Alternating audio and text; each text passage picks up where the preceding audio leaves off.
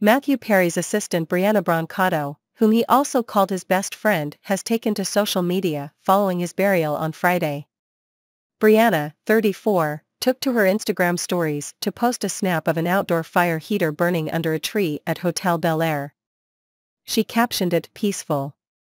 Matthew and Brianna's close platonic friendship and understanding was revealed in his memoir Friends, Lovers, and the Big Terrible Thing. Matthew recalled meeting his assistant, whom he referred to as Erin in the memoir, at a rehab.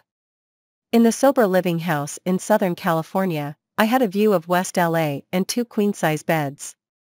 He mentioned that the other bed was occupied by Erin.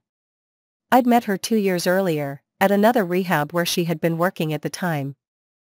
I didn't get sober back then, but I saw how wonderful she was in every way and promptly stole her from that sober living rehab and made her my assistant, and she became my best friend. Matthew's tragic loss must be very challenging for his best friend to deal with. Brianna expressed her feelings after his passing in a note she shared on Instagram. Alongside sweet photos of Matthew, she wrote, I've expressed my deepest gratitude to him on numerous occasions, not only for guiding me into a career I cherish, but also for allowing me to take care of him for seven years. She continued, along W, with the countless other experiences I'm thankful for.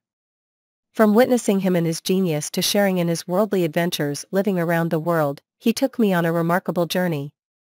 My heart is heavy, but celebrating my memories is the most profound way to honor his legacy. I hope that up there, in the great beyond, Matt Man is sending us signs. We truly need them. You'll forever be in my heart.